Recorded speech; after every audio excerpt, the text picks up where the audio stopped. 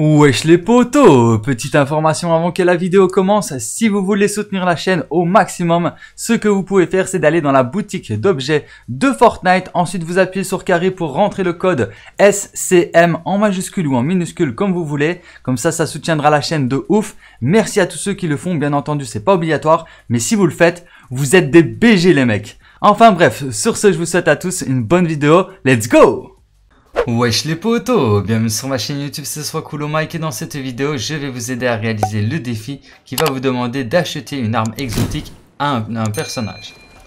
Alors pour vous aider à réaliser ce défi, je vous affiche une map avec tous les emplacements des armes exotiques, enfin des personnages qui vendent des armes exotiques dans Fortnite. Alors je ne sais pas pourquoi, mais mon jeu est complètement buggé, il n'est pas pixelisé, mais bon c'est pas grave. Regardez, là il y a un personnage qui se trouve juste ici, donc au sanctuaire à côté, côté droit du sanctuaire.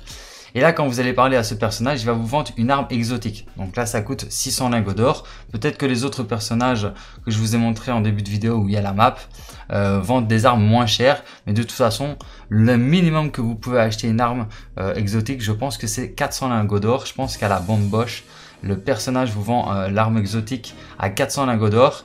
Donc vous lui achetez l'arme exotique pour contre de l'or et là ben, vous aurez terminé le défi et vous débloquerez les récompenses. Donc voilà qui termine cette petite vidéo d'information. J'espère qu'elle vous aura été utile et qu'elle vous aura plu. Si c'est le cas, n'hésitez pas à liker, à partager et à vous abonner si ce n'est pas encore déjà fait. Et sur ce, bah, moi je vous dis à très bientôt pour plus de vidéos. C'était soit mec et ciao. Peace.